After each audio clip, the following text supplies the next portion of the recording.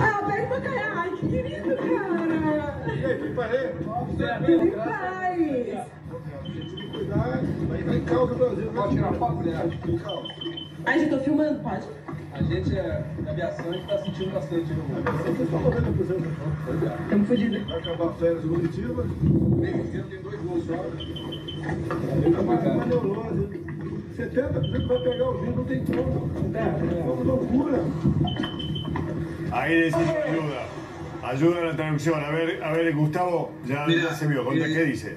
Lo que él, él estaba con un custodio andando de jet ski, eso es algo normal para el presidente porque no es de él, es de la presidencia de la República. Se encuentra con un agente que estaba en una lancha, de los cuales son de personal de la aviación, que le dice que la aviación está realmente muy complicada. La persona que estaba filmando le pregunta si puede filmar inclusive, y la frase a la cual quería que prestaras atención, Mauro, es la que él dice, 70% va a pegar el virus. O sea, es una cuestión de tiempo. Lo van a pegar ahora, lo van a agarrar después, pero lo van a agarrar de cualquier manera.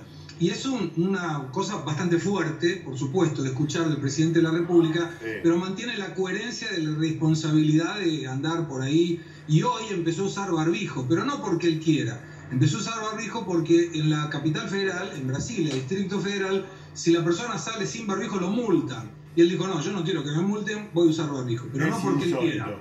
Es insólito este presidente brasileño. Eh, como está mirando Adrián también.